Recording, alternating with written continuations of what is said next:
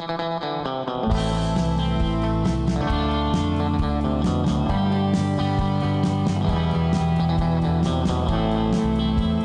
right, now that you've had to suffer through learning all about gas laws, we get to have a little bit of fun.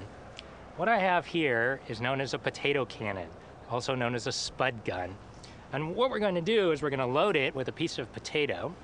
And this down here, by the way, it's PVC pipe. And this down here is a combustion chamber. And we're going to spray a combustible fuel in here, something like hairspray, but other things will work as well. And then we're going to cap off the back end. And the back end is a cap that has a little uh, Coleman lantern igniter on it. And so when we create the spark, it's going to ignite the fuel. The fuel is going to expand, okay? And the reason why it expands is both because of Charles's law, the volume will increase because the temperature is going up because the fuel is combusting, and it will also expand because of Avogadro's law. It turns out that you have greater number of moles in the in the fuel afterwards, uh, more moles because of carbon formation of carbon dioxide and water uh, from the fuel that we start. Okay, so volume increases as a result of both Avogadro's law and because of Charles's law, and that volume expansion is going to push the potato out towards the open field here. Okay, so let's load it up. Take the potato.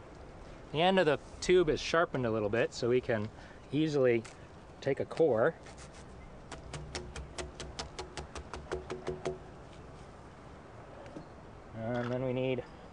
a stick to jam the potato down. And let's see how far we want to go here.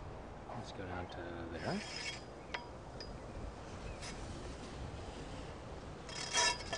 Okay. And then we spray some fuel in. And again, we're going to use hairspray.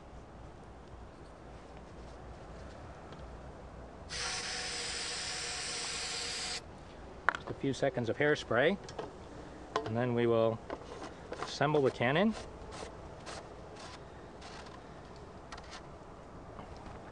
and then we will turn and fire it.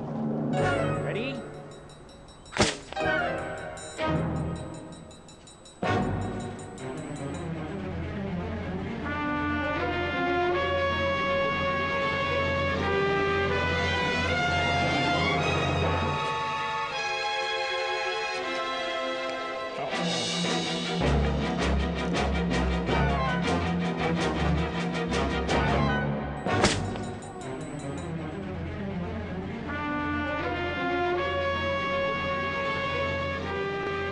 Cool.